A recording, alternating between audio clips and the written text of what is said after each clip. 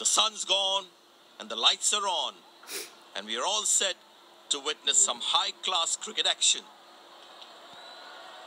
It's a dry pitch, so the spinners would be a crucial weapon for the captain today.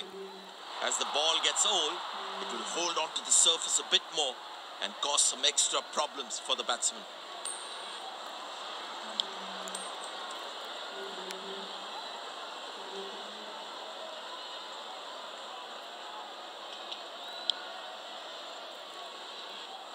These players will be taking the field today. Both teams look balanced and eager to perform.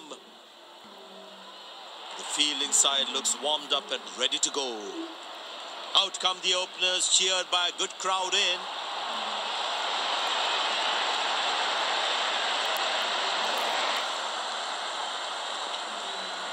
There must be some nerves as the batsman is set to face his first ball.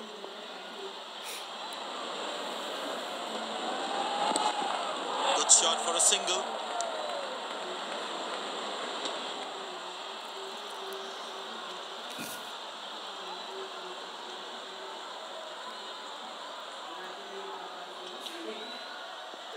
Excellent running between the wickets.